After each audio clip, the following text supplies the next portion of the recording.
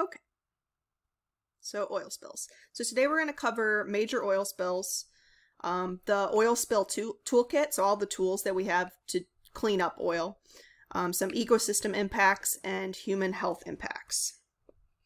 And the learning goals for today are to understand that oil spills are caused by accidents involving tankers, barges, pipelines, refineries, drilling rigs, and storage facilities. We'll learn that the Exxon Valdez oil spill was the worst oil spill ever in terms of damage to the environment, but the Deepwater Horizon spill was the largest oil spill in history. Okay, um, and that we'll learn that microbes break up oil by using the carbon found in oil, and that both short-term and long-term damage can result for humans that are exposed to oil and gas from these spills.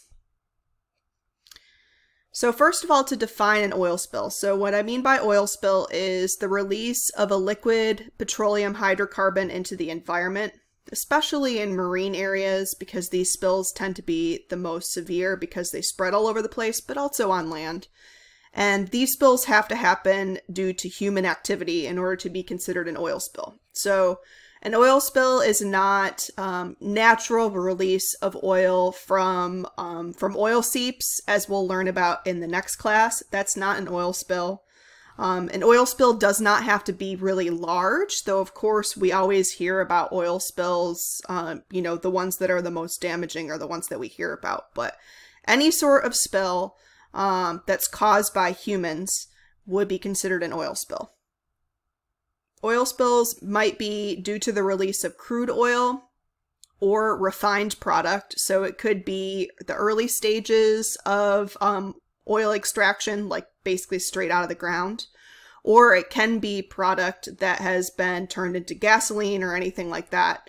Um, and it can happen during the drilling process, during transportation. So oftentimes we hear about, you know, shipwrecks leading to oil spills, or during storage. Oil spills into rivers, bays, and the ocean most often are caused by accidents involving tankers, barges, pipelines, refineries, drilling rigs, and storage facilities. Um, so these are almost always accidents. Um, they're typically caused by people making mistakes or by companies not following safety standards. Um, so usually for an oil spill to happen, since there are so many safety precautions, um, usually it's something that somebody does wrong that causes these oil spills. And as a result, oil spills often lead to new um, safety standards. So, new ways to um, prevent these kinds of things from happening in the future. So, I'm going to start off with um, I guess, the bad news. Two of the most major oil spills in the history of the United States. Um, really, two of the most major oil spills in the history of the world, which occurred in the United States, is how I should how I should um, phrase that because these are these are severe in terms of worldwide disasters as well. Um, so the first one is the Exxon Valdez spill. Um, this one predates all of you, so this one occurred in 1989 and it occurred when an oil tanker, which was traveling from Alaska to, to California, ran aground on a shallow reef in the Gulf of Alaska in a shallow environment called Prince William Sound. Um, this was an accident that was caused by poor, uh, poor captaining of the ship, essentially. So the tanker was outside its normal shipping lanes in an attempt to avoid ice. Um, Within six hours of the grounding, there were um, 10.9 million gallons of oil spilled into the ocean. So this spill happened pretty immediately after this tanker crashed. And um, despite ideal weather for about three days after the oil spill, cleanup was delayed. And there were a couple of reasons for this. One was that equipment was simply not ready to be deployed. And so this was something that could have been improved in our national strategy um, for responding to oil crises. But of course, Alaska's pretty remote, and so it's pretty difficult for this type of equipment to get deployed in a remote area. And so that was one reason that cleanup was delayed. Another reason that cleanup was delayed is that initially Exxon was a lot more concerned about recovering the oil that still remained on the ship than dealing with the spill itself. And maybe they thought that nice weather window was going to last forever, but the fact was, after about three days, the winds picked up. We know Alaska generates storms. Um, the wind started to pick up, and that clear weather window was over, and the oil started to be transported all over the place.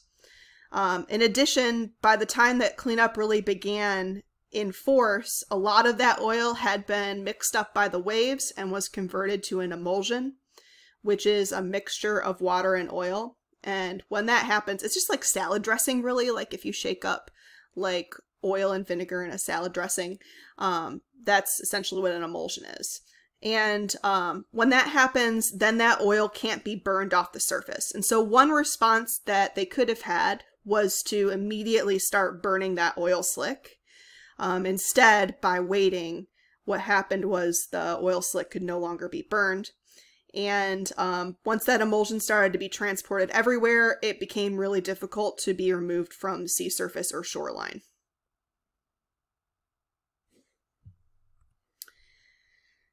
So, the Exxon Valdez spill was the worst spill ever in terms of damage to the environment. Essentially, this oil ended up making its way onto shore in some of the most pristine environments in the world. And um, nothing was, pretty much nothing was done to stop it. So um, all of the oil that was spilled ended up making its way onshore to damage uh, marine and coastal environments. It affected uh, 2,100 kilometers of coastline, of which about 320 kilometers were heavily or moderately oiled, um, causing severe damage. There were immediate effects, including the deaths of as many as 250,000 seabirds, um, almost 3,000 sea otters, 300 harbor seals, 247 bald eagles, 22 orcas, an unknown number of salmon and herring, and those are just the things that we can count. Um, so likely it was causing death even beyond those numbers for a lot of organisms. Only 10% of the oil was ever recovered in cleanup, um, so tens of thousands of gallons actually still remain out there in the environment. If you are, um, if you take a shovel out and you dig at certain sites in Prince William Sound, you can still find oil pooled underneath the um, underneath the sand there. So there's still a lot of the oil out there. Um, we'll learn about how oil degrades over time, and so there's a natural process by which that oil disappears. But over time, the easy easy to degrade bits kind of get um, worn down, and so over time it gets harder and harder to get rid of what remains. And so that oil is going to be out there for quite some time. And there are lasting impacts to the environment. So the Pacific herring fishery remains closed. Um, it has never opened back up. The Pacific herring population has never recovered after the oil spill. And there are some populations of whales and seabirds that have not recovered and have essentially been on a slow decline to um, extinction, including a couple of populations of orcas um, and several different species of birds. There are a number of birds and organisms that have recovered. Um, the most recent to be considered recovered were um, the population of sea otters in that area are now considered fully rebuilt to um, pre-oil spill standards. So that's that's good news too. Time does heal to some extent. Okay, so um, the Exxon Valdez oil spill was the largest oil spill to have occurred in the U.S. until the BP Deepwater Horizon oil spill, which occurred in 2010. Um, since then, the B BP Deepwater Horizon oil spill has been the largest oil spill in history. Hopefully, we will never have another one larger because it was very damaging. Um, so the Deepwater Horizon um, oil rig was built in deep water, as the name implies. It was built in 1,600 meters of water to drill an exploratory well, around 5,000 meters into the seafloor. And so um, this is the type of oil rig that's trying to access harder and harder to reach oil um, oil reserves underneath the surface of this or underneath the seafloor. So increasingly we've had to push these rigs further and further out into deeper and deeper water, and this is one of those deep water rigs. The reason for the spill was actually an explosion. So on April 20th, 2010, there was a high pressure um, bubble of methane gas that rose from the well and exploded when it reached the platform surface. And shortly after that, a couple of days after rescue crews were there putting out the fire, the platform actually sank due to the damage um, of the explosion. And almost immediately after that platform began to sink, um, folks started to notice an oil slick beginning to form at the surface, which was evidence of oil leaking from below. Oil ended up flowing out of that wellhead for 87 days. Um, it was almost impossible to stop. It took many, many, many different efforts to cap it. And a total of 210 million gallons of oil were released into the water. So it's a huge amount of oil, way, way more than um, Exxon Valdez. So what were some of the causes for this? Well, an investigation, of course, was launched after this, with it being such a damaging um, environmental uh, catastrophe. And an investigation found that there was, um, the accident was caused by managers misreading pressure data and they gave their approval for rig workers to actually replace heavy drilling fluid in the well with seawater. And that seawater was not heavy enough to stop the flow of methane up the pipe. And so there was a lot of pressure and they ignored it and they didn't do anything to stop that pressure from traveling up to the surface, um, causing the explosion. In addition, um, perhaps even more damaging, there are on these wellheads a number of safeguards to prevent um, you know in case in case the platform does explode or the pipe is severed or something to prevent oil from continuing to leak into the environment and these are called blowout preventers and so they're designed to stop leaks at the base of the pipe and the one on the deepwater horizon um, pipe failed to seal because the drill pipe actually buckled when the platform exploded and um, to this day, we don't know why exactly that happened. The drill pipe is not supposed to buckle. It's made of some of the strongest materials around. Um, so that's something that might have been um, kind of like severe bad luck. During this oil spill, there was a substantial amount of dispersant used. And um, we'll talk a little bit about dispersant in the following slides, but What's interesting about um, dispersant is that it causes oil to sink rapidly in the water column. So instead of rising all the way to the surface, um, there are droplets that form and allow this dispersant to sink and um, kind of spread throughout the water column. But in this case, um, the dispersant usage, it was applied right at the site where the oil was entering the water at the wellhead. And it caused the oil to sink rapidly into um, into the water column and form this plume, this underwater plume. This underwater plume spread um, essentially all over the place, like a plume would spread at the surface, and eventually those droplets spread, um, sank down onto the sediment and sank rapidly into the sediment. And if those droplets did make their way to the shore, they also sank rapidly into beach sand. And due to the burial of these droplets um, and the lack of sunlight reaching those droplets, degradation of the oil was actually slowed due to the use of dispersants. So even though folks responding to this tragedy were trying to um, disperse the oil so it wasn't actually causing an oil slick that oiled, like, for instance, um, marsh grass, they ended up causing another environmental catastrophe by keeping that oil away from sunlight and not allowing it to degrade properly.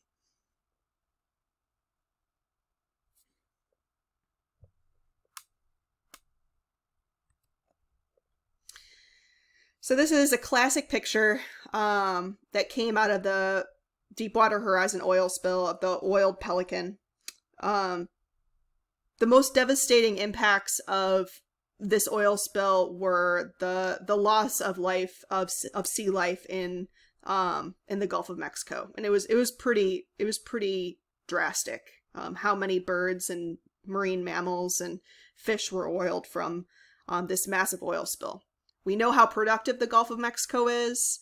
Any sort of oil spill of that magnitude is bound to kill a large amount of wildlife.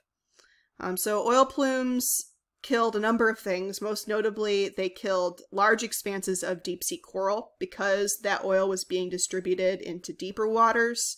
Um, the underwater oil plumes actually, um, as they passed, they killed any pretty much anything that was on the seafloor, but especially sensitive organisms like deep sea coral. Um, there were impacts for years after the oil spill. So, in addition to all the loss of life that occurred during the response to the oil spill itself, for years after the spill, dolphins um, were washing up stillborn. Many dolphins that did survive the spill had signs of liver disease, pneumonia, lung damage, or underdeveloped lungs. Fish were being caught with deformities and lesions. There's a substantial amount of oil that's expected to still be out there along the seafloor near the um, near the spill site and along the path where the plume traveled, um, which may be causing additional impacts, um, though these are the ones that are large enough to have been measured. One good thing that came out of this oil spill is that the settlement that resulted in it is being used pretty much directly um, to fund sorely needed research and restoration in the Gulf of Mexico. And so, um, if there has to be a silver lining, it's that because of this oil spill, we now know a whole lot more about the Gulf of Mexico that may be used to prevent future oil spills from being so catastrophic. So, this spill made it really clear how little we actually know about the Gulf of Mexico as folks were trying to respond to it and trying to get the needed information to decide where the oil was going and what management actions to make, they really didn't have the information they needed.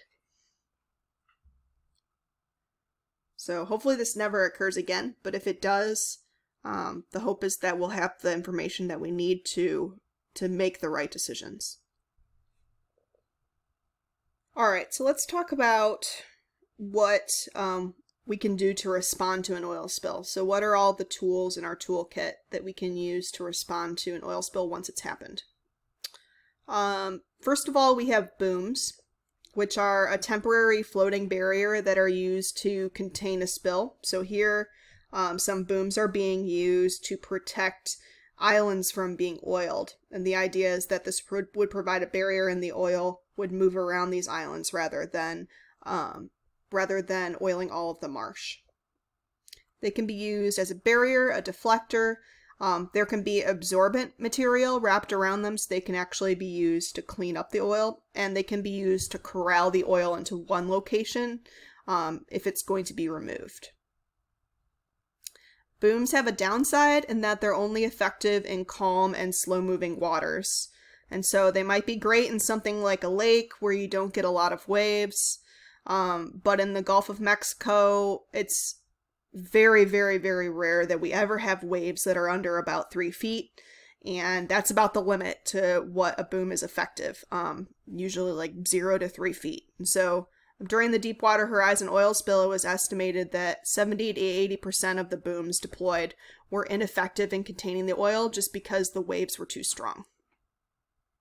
And this is just normal wave activity in the Gulf of Mexico that was too strong. It's not very nice. Keep moving. Start locking them out. Okay, a skimmer can be used um, along with booms to actually clean up the oil. So it's a device for recovering spilled oil from the water surface. It separates oil from water and stores it for safe removal. And there are a number of different ways that the oil can be skimmed off of the surface. I'm not really going to cover that for this class, but um, generally, these are only effective in calm water in areas where booms can kind of corral the oil into one area. Um, so that way it can be easily skimmed off the surface in a large um, in a large layer. Some types of skimmers can be easily clogged by debris, um, which is one downside. And also, during Deepwater Horizon, when we used a lot of dispersants on the oil, it was found that skimmers might not be as effective on oil after a dispersant has been used. Um, and I'll mention dispersants in um, the next couple of slides. We could talk a little bit more about what a dispersant does. I know that term is appearing many times in this lecture.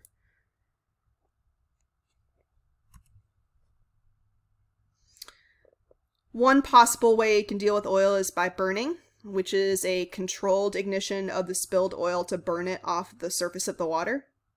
This is one of the quickest control measures to deploy and one of the best options in remote areas. And so, um, in those first three days after the Exxon Valdez oil spill, this would have been the method to get rid of a lot of that oil slick. Um, that would have been the method to deploy. Unfortunately, this was not used until um, it was essentially too late. It does have downsides. Um, so burning oil produces a lot of pollutants. Smoke pollutes the air and it may impact human settlements, even settlements that are far away. And the burning doesn't get rid of all of the oil, so it does leave behind a residue that can coat shorelines or sink to the bottom, but a lot of the oil is removed by burning. And then dispersants, um, which here I'm defining as chemicals that break up oil into small droplets. So um, dispersants just uh, essentially they act um, they act to turn the oil into smaller bite-sized pieces that microbes can get at. Um, so in theory, the droplets get um, distributed throughout the water column, and there's lots of surface area for microbes, microorganisms to attach. And those microorganisms can um, do their work and break down the oil. That's the theory. There is concern that dispersants, because they're chemicals, that they're toxic to fish, corals, humans, etc. And we'll see a little bit later that um, that concern uh, was was likely well founded.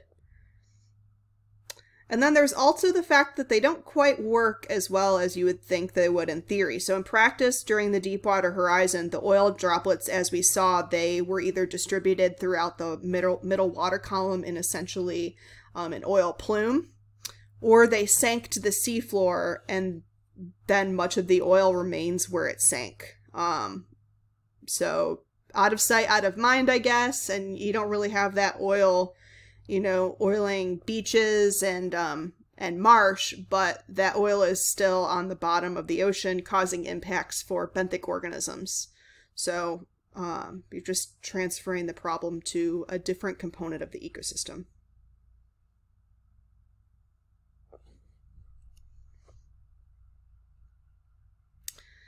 Our next um, bit in our toolkit is bioremediation.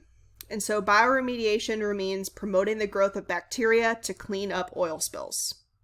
Microbes will naturally break uh, break up oil by using the carbon that's found in oil. And um, you don't have to put any sort of special microbes out there to do this. There are microbes in the environment um, already in the background. Um, that will do this, and those microbes will bloom. They'll increase in population size when there's oil present. So um, that's great. something that the earth has naturally that can help us deal with oil. Um, so what, what we do is we supply those oil-eating microbes with whatever nutrients that are limiting their growth. And so we learned about limiting nutrients, and those are the nutrients that um, prevent the growth, uh, the further growth of organisms. And some of those nutrients that can be limiting are nitrates, phosphates, and iron. And so we'll fertilize the beach um, with these compounds, and the microbes will be able to um, increase in number, and they're eating oil all the while, and so that can speed up the oil degradation.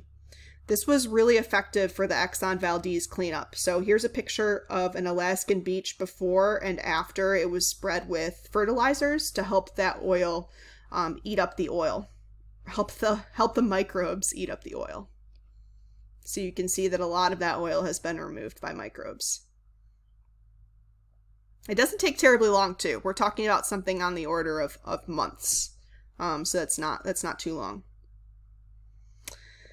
The last two are a little bit less technologically advanced, so you can use hot water and high pressure. Um, essentially blast oil off the beaches into the water where it can be skimmed off.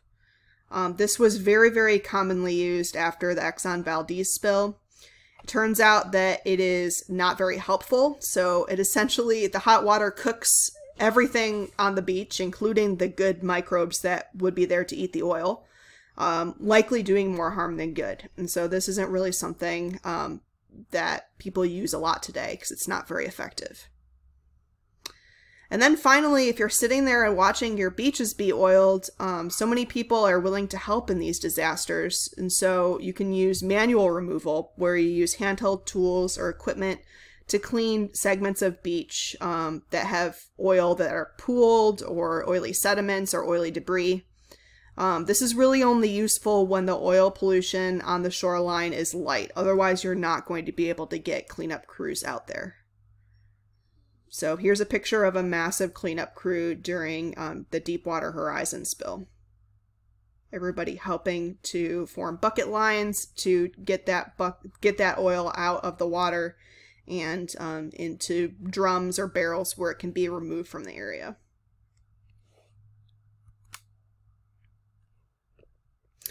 Some of you, for your current events, um, brought up a new study um, just just released in the last couple of months that um, talks about the weathering process of oil and changes a little bit what we knew, what we thought we knew about oil weathering. And so I wanted to bring that up now. Um, so the weathering process of oil refers to any physical, chemical, or biological changes that occur to oil as it spends time in the environment.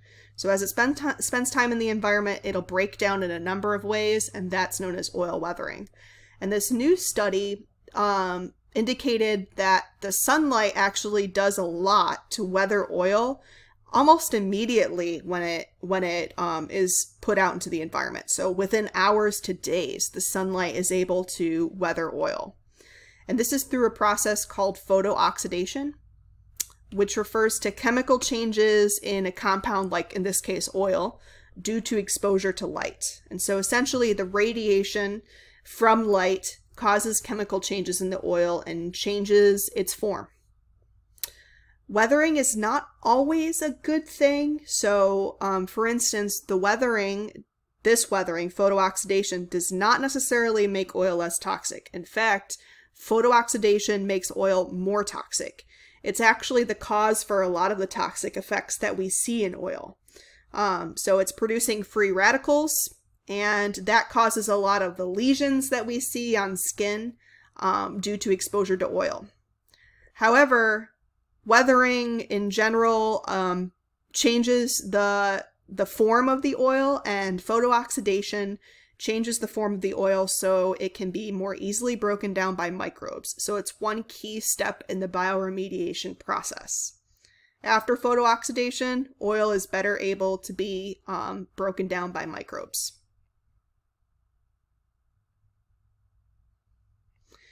So in this image, you can see a lot of the different um, transformations that oil can go through. Um, a lot of these that we, a lot of these we've talked about already, like emulsification, where it's combining with water.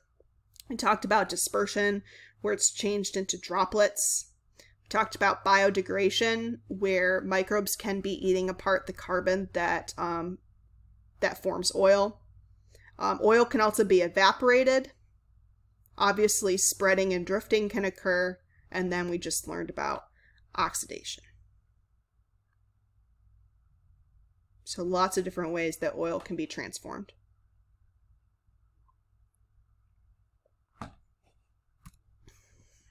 All right, I'm going to save this um, assignment for the end because I think I have one one or two more slides, um, and then and then I'll see if you guys can can, um, complete the assignment. Um, so uh, this is supposed to say oil impacts to humans. So this slide is on the impacts to people because we have had enough spills in our history that we can um, kind of see how they impact people both short and long term, especially after um, Deepwater Horizon.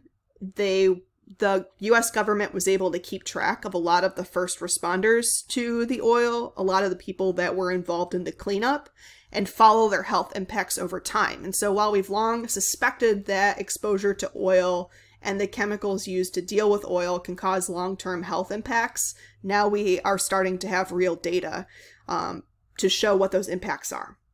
So um, studies of biomarkers have uncovered irreparable harm to humans exposed to oil and gas from spills.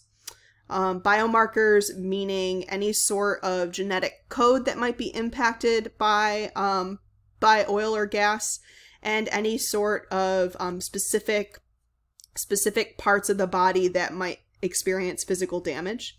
And so some of the impacts that have been noticed are respiratory damage, liver damage, decreased immunity, increased cancer risk, reproductive damage, and higher level of some toxic materials like hydrocarbons and heavy metals um, in the body, in the tissue. A recent study looking at Amazonian indigenous people's health markers following a spill was carried out in um, the Peruvian Amazon, and this followed these um, folks four months after they were responding to an oil spill. And they showed that um, men who had been working cleaning up the spill had uh, more mercury in their body, so twice as much mer mercury in their urine as an average person. And mercury is very damaging to the brain and the liver. There was also concern that exposure to the chemicals and dispersants could cause long-term um, health impacts. Um, and I mentioned that when we were talking about dispersants as that being one of their downsides. And it turns out that following the people that were exposed to dispersants during Deepwater Horizon, it turns out that many of them have damage to their airway. So damage, um, for instance, to their nose or their nose tissues or their throat um, and also an increased number of lung and heart abnormalities. So um, it, it seems as though breathing these chemicals can, um, can definitely cause long-term issues.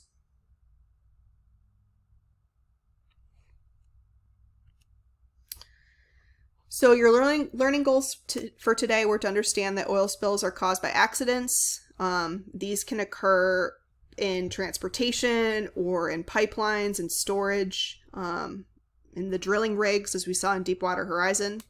You learned about two major oil spills, the Exxon Valdez being the worst ever in terms of damage to the environment, and the Deepwater Horizon being the largest oil spill in history.